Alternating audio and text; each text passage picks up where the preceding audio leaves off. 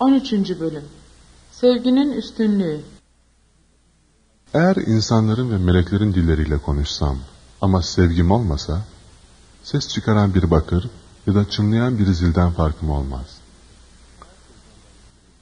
Eğer peygamberlikte bulunabilsem, bütün sırları bilsem ve her türlü bilgiye sahip olsam, eğer dağları yerinden oynatacak kadar büyük bir imanım olsa ama sevgim olmasa bir hiçim. Eğer bütün malımı sadaka olarak dağıtsam ve bedenimi yakılmak üzere teslim etsem ama sevgim olmasa bunun bana hiçbir yararı yoktur. Sevgi sabırlıdır. Sevgi şefkatlidir. Sevgi kıskanmaz, övünmez, böbürlenmez. Sevgi kaba davranmaz. Kendi çıkarını aramaz. Kolayca öfkelenmez. Kötülüğün hesabını tutmaz.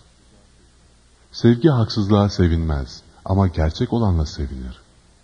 Sevgi her şeye katlanır, her şeye inanır, her şeyi ümit eder, her şeye dayanır.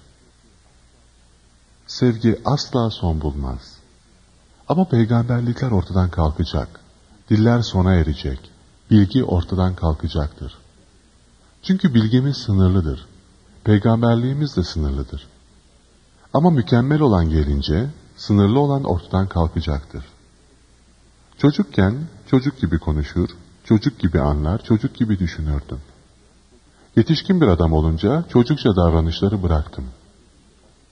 Şimdi her şeyi aynada silik bir görüntü gibi görüyoruz.